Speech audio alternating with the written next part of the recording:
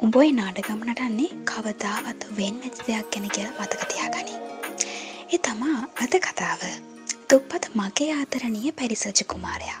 අපි එනම් යමු කතාවට.